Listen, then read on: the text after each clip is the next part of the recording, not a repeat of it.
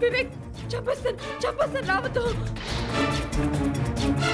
विवेक रावत हो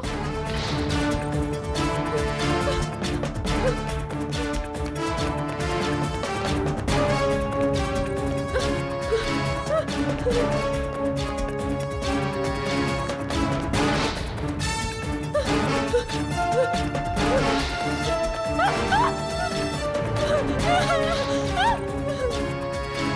Oh!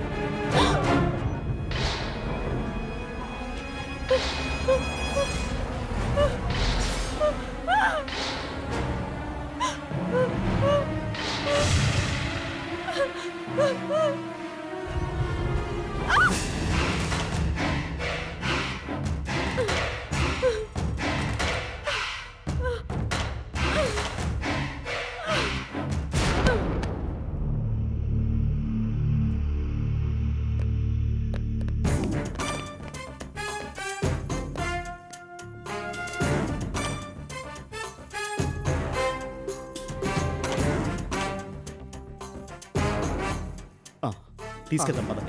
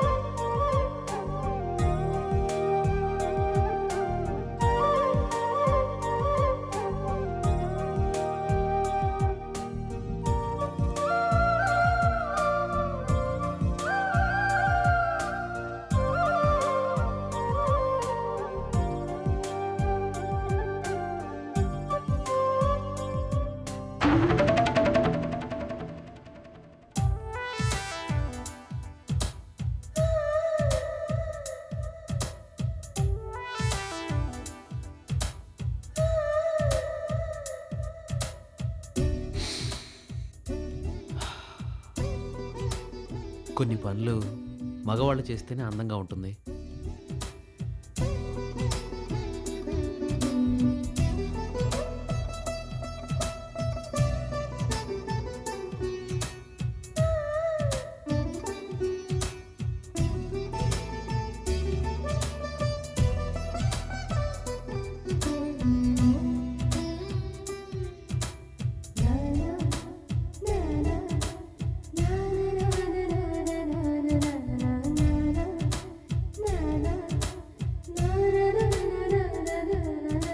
ఆడదానికి అందం ఏంటో తెలుసా.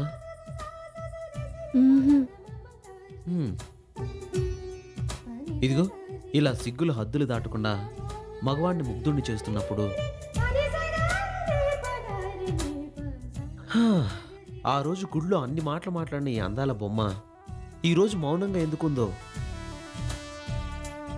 సిగ్గుపడాల్సిన సమయంలో సిగ్గుపడితేనే ఆడదానికి అందం. ఆహా. మాటలకు చోటు లేని చోట మౌనమే కదా రాజ్యం చేసేది. మరి చిలిపివే ఆ? మ్, మరి? ఏయ్, భారతి ఏయ్. ఏయ్, భారతి ఆగు. ని- నిన్ను ఏయ్, భారతి ఏయ్, నిన్ను ఏయ్, భారతి. ఏయ్, భారతి ఆగు. భారతి ఆగు.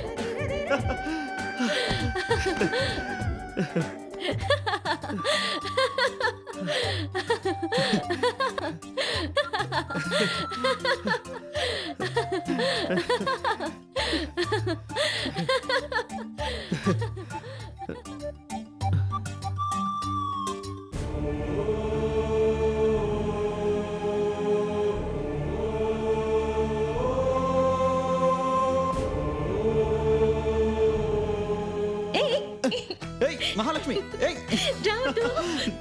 నిన్ను వదలను. ఏయ్,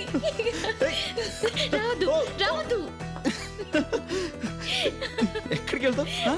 ఎక్కడికి వెళ్తావు? ఆ? ఏయ్! ఓ! ఏమండి? Please please please please. అయ్యో. సరే సరే సరే. మ్మ్, ఓకే ఓకే. ఆ. మ్మ్, రండి.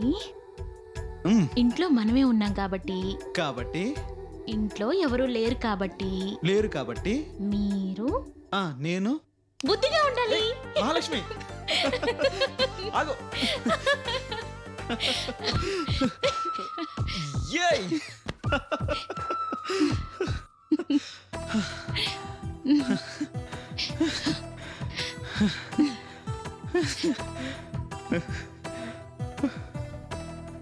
ఎక్కడికి పోతావు మహాలక్ష్మి?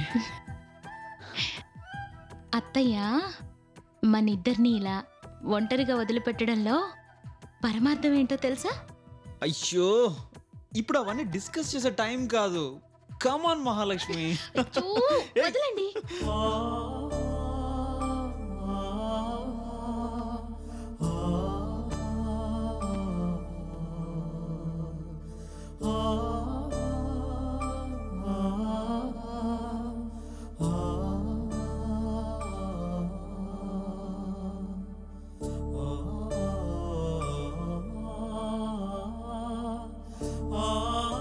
ఏమండి? పరవళ్ళు తొక్కుతూ కొండల మేయించి దూకే జలపాతం మధ్యలో ఆగిపోకూడదు.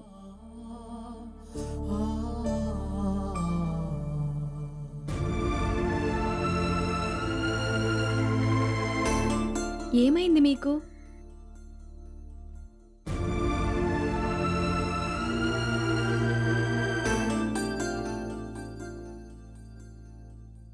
మహాలక్ష్మి గుర్తొచ్చిందా?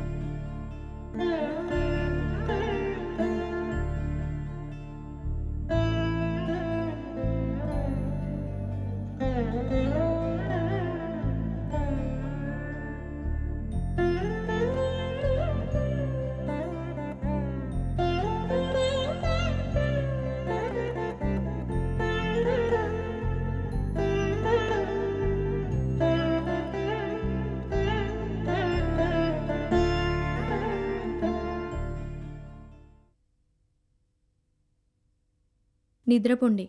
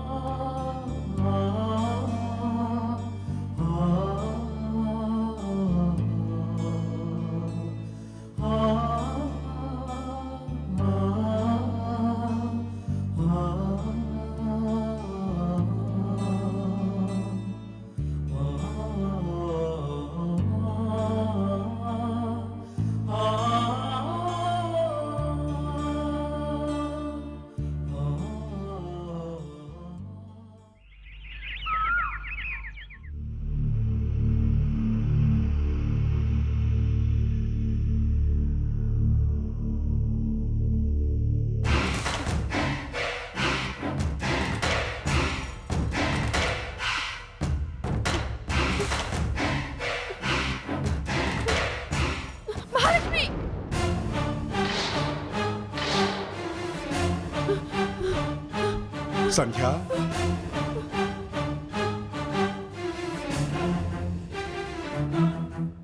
ఎవరు మీరు?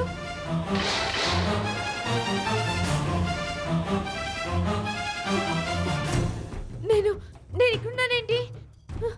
మీ తలకు దెబ్బ తగిలితే మహాలక్ష్మి మిమ్మల్ని హాస్పిటల్లో అడ్మిట్ చేసింది. అలాగే డాక్టర్. నేను వెంటనే మహాలక్ష్మిని చూడాలి. Please doctor. తను రమ్మని ఫోన్ చేయండి. అలాగేనమ్మా. మీరు రిలాక్స్ అవ్వండి. మహాలక్ష్మిని నేను పిలిపిస్తాను. థ్యాంక్ యూ డాక్టర్ కాస్త తొందరగా పిలవండి. తప్పకుండానమ్మా. ముందు నువ్వు రిలాక్స్ అవ్వు. పదండి.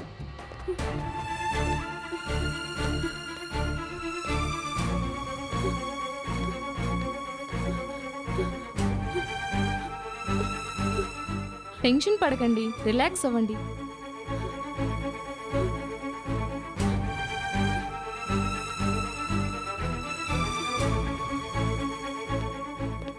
చూడండి ధర్మతేజ గారు మనం సక్సెస్ అయ్యాం.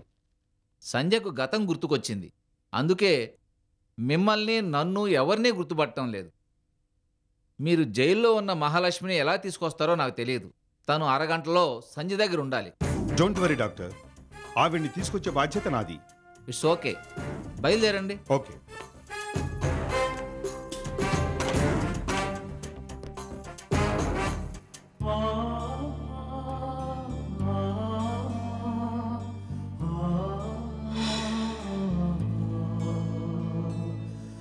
నిద్రపోండి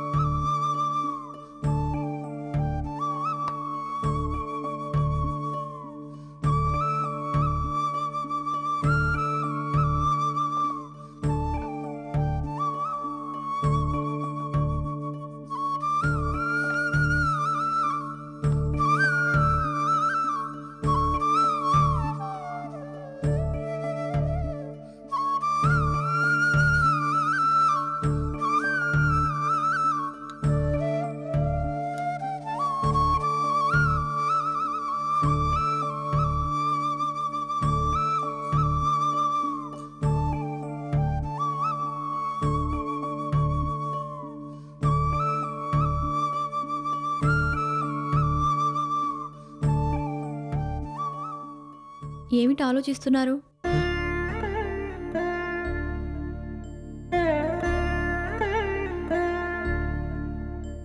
టిఫిన్ చేయండి.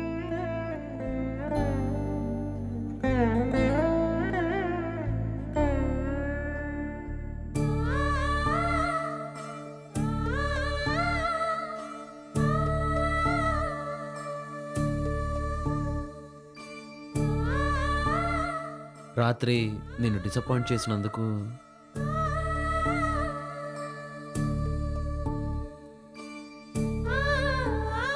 అపాయింట్మెంట్ లేని చోటు ఉండేది.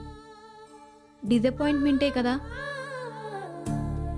మహాలక్ష్మి గుర్తొచ్చిందని చెప్పినందుకు బాధపడుతున్నావా?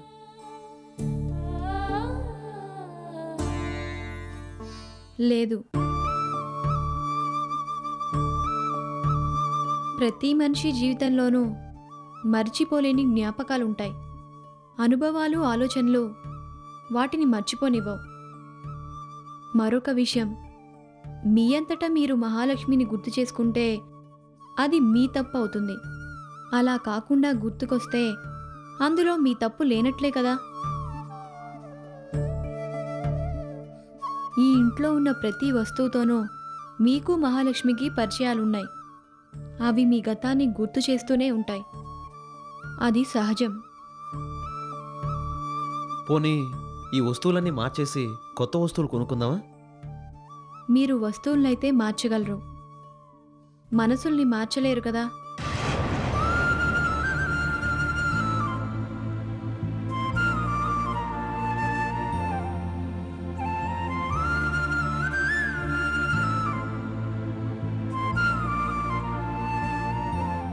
నిన్ను బాధ పెట్టినందుకు ఐఎమ్ సారీ భారతి. నోనో మీకు మహాలక్ష్మి గుర్తొచ్చినందుకు నాకేం బాధగా లేదు. నేను మొదటిసారి చూసిన సినిమా నాకు ఇప్పటికీ గుర్తుంది. ఆఫ్టర్ ఆల్ రెండున్నర గంటల సినిమానే నేను మర్చిపోలేనప్పుడు మీకు మహాలక్ష్మికి మధ్య రెండున్నర సంవత్సరాలు సాగిన సంసార జీవితాన్ని మీరెలా మర్చిపోగలరు?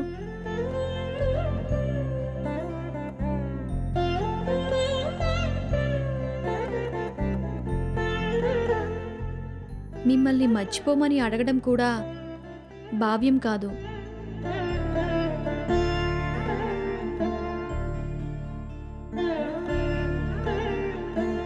నీ మెళ్ళ తాళి కట్టిన మరుక్షణం నేను మహాలక్ష్మిని మర్చిపోయాను అంటే ఈ ప్రపంచంలో అంతకన్నా గొప్ప అబద్ధం మరొకటి ఉండదు భారతి. అది ఆత్మవచన అవదా చెప్పు? అదే నేను మీలో గర్వించే విషయం. రాత్రి మీకు దూరంగా జరిగి పడుకుంది కూడా మీ మీద కోపంతో కాదు. భార్యతో గడిపే సరదా సంసారంలో మనసులో మరొకరిని తలుచుకోవడం నేను భరించలేను. ఆత్మవంచనతో చేసిన ఆలింగనంలో ఆనందం ఉండదు. ముద్దైనా మురిపెమైనా మనోహరంగా ఉండాలే కానీ మాలిన్యం ఉండకూడదు. మీకు మహాలక్ష్మి గుర్తు రావడానికి ఓ రకంగా నేను కూడా కారణమేమో.